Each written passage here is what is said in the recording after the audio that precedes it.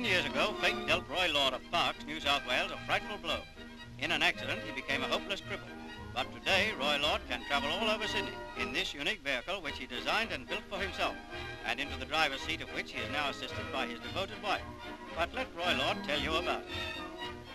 About 10 years ago, I was unfortunate enough to lose the use of both my legs, and uh, naturally, I found it difficult to get about, so I decided to build myself a suitable vehicle, and after three years tinkering about, I'm very pleased with the result.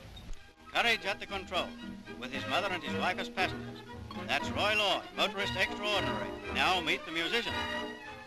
Well, I only have my two hands to work with, uh, but as well as doing mechanical work, I love playing various musical instruments. Oh, why did I ever, ever my all alone, all alone, oh Lordy, when the moon shines down upon the mountain. I'll be coming round the bend for home.